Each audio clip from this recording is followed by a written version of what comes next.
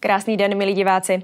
Mým hostem je dnes paní starostka obce Příšov, Olga Šmídlová. Dobrý den. Dobrý den. Paní starostko, vy už jste starostkou od roku 1998, ano. Což, je, což je obrovský počin.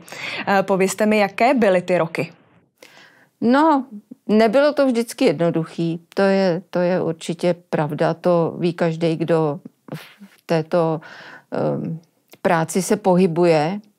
Za jedno volební období se toho moc neudělá, té práce. No ze začátku to víte, neměli jsme moc peněz, protože jsme se rozdělovali po mm, roce 89 od sousední obce. No, ale myslím si, že se nám spousta věcí podařilo v té obci. K tomu se ještě dostaneme. Povězte mi, jak jste se vlastně dostala do politiky?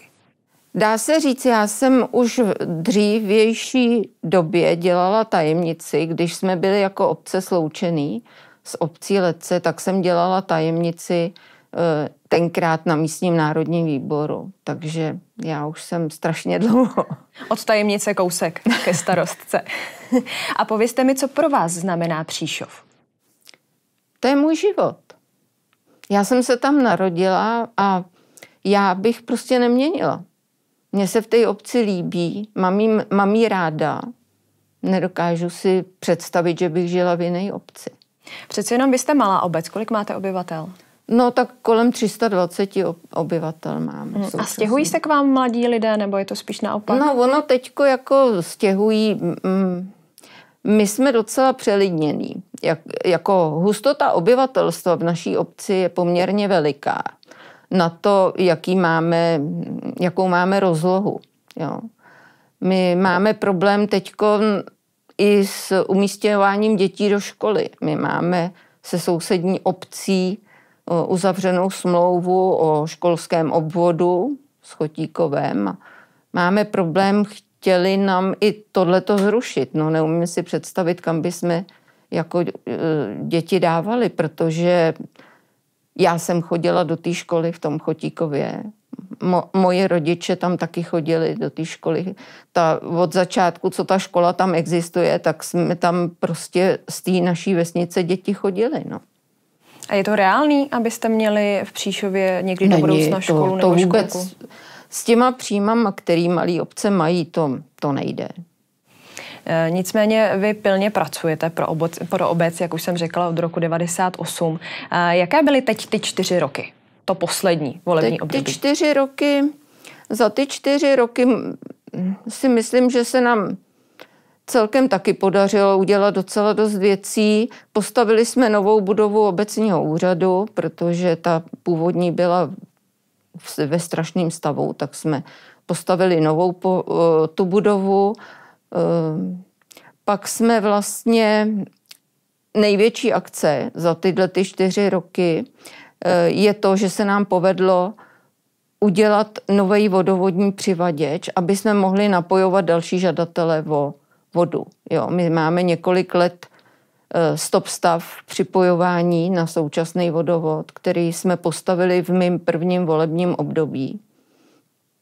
Tak se nám teďka podařilo eh, dotáhnout tady tu akci, která vlastně cena tohoto díla je nece, skoro 21 milionů a obec to nebude stát ani korunu. Podařilo se nám to zařídit tak, že prostě bude to bez zapojení finančního obce. Mm-hmm. To ale není jediná věc. No, pak jsme za ty eh, během těch čtyř let posledních ještě udělali eh, rekonstrukci eh, veřejného osvětlení po celé obci. No a udělali jsme taky bezdrátový rozhlas čímž jsme zlepšili informovanost občanů, protože ten původní mm, nedosahoval.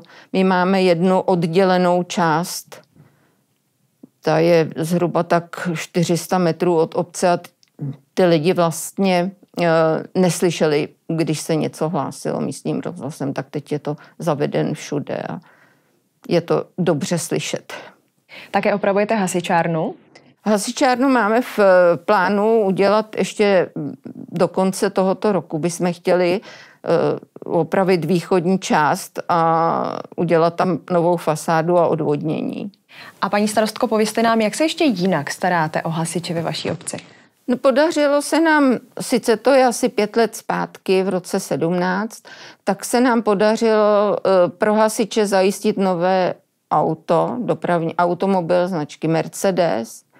Hodnota toho auta po požadovaných úpravách uh, byla milion 470 tisíc. Na to auto jsme dostali dotaci od generálního ředitelství HZS ve výši 450 tisíc a plzeňský kraj nám na to přispěl částkou 300 tisíc. Zbytek doplácela obec ze svého rozpočtu. Jak jste na tom schodníky v obci? No to je výhled do dalších let. Máme, zpracováváme Eh, projekt na opravu chodníků.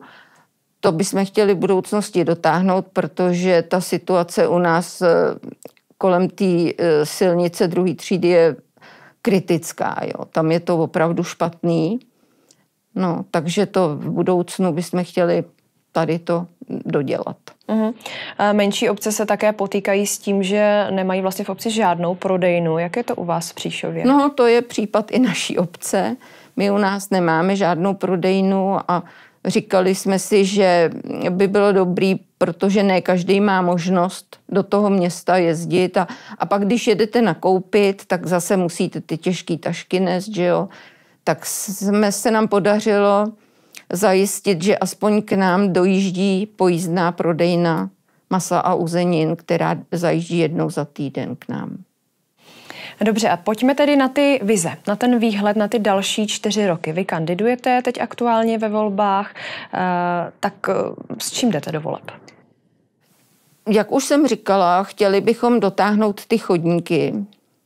To je jedna věc. Pak eh, nejhorší, co je u nás, je